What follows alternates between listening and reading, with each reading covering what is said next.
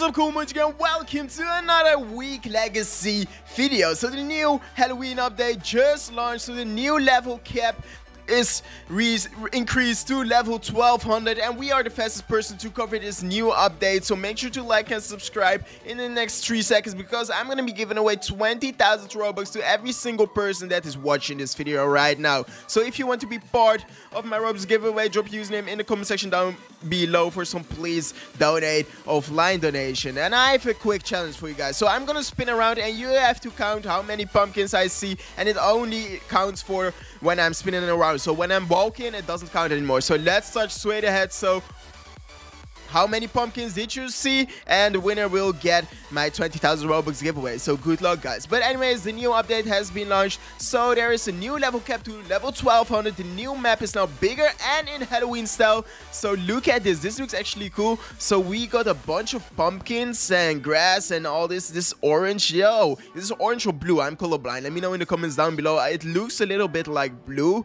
but that that's uh, a new breathing water. Feed 2 breathing has been added. A new breathing flower breathing have been added. A new art obi manipulation have been added as well. And a new art cryokinesis have been added. Yo that sounds really cool. And a new mastery system new item hello hello side has been added. Yo a bunch of these anime games are launching the hello side. I think i saw it in anime last stand as well but i'm not so 100 percent sure. But i'm sure i saw it in one of these anime games. But anyways so we got a new item Freddy head as well, new item Spooky head, new item Crappy mask, new item Halloween Haori, new item Pumpkin hat has been added. Of course, it's Halloween. Of course they're gonna add pumpkin hats. New item Halloween chest have been added. New item Vampire Hat wins have been added to the game. New item Vampire wins sunglasses. New boss Keno. New boss Tanjiro. New boss Daki. New boss Tomioka. New boss Jack. Jack Hanma. If you watch some back Baki Hanma, you will know the lore about Jack, guys.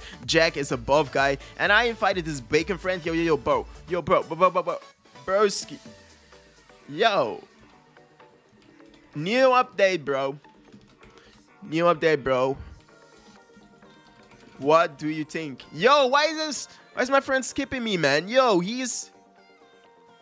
Yo, yo, bro, bro, bro, bro, bro, bro, bro, where you going at, man? Where you going at, man? Let's go, bam, bam, oh, yo, yo, yo, I need to get out, I need to get out of here.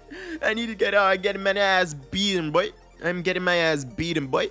But new boss uh, Yundry, new boss Duma, new quest boss, new NPC Tomioka, new NPC Daki, and a bunch of new codes have been added to the game. So let me show you all the different codes in the game because you really need to see this, okay? You really need to see all these different codes that have been added into the game. There's actually a bunch of them, but I'm gonna type them right here, but you can redeem them yourself. So we got updates uh, this one so make sure to redeem this code. So updates to reset breathing uh, go breathing go art so make sure to get this code real quick. And next up is gonna be 50 spins halloween event so get this one as well.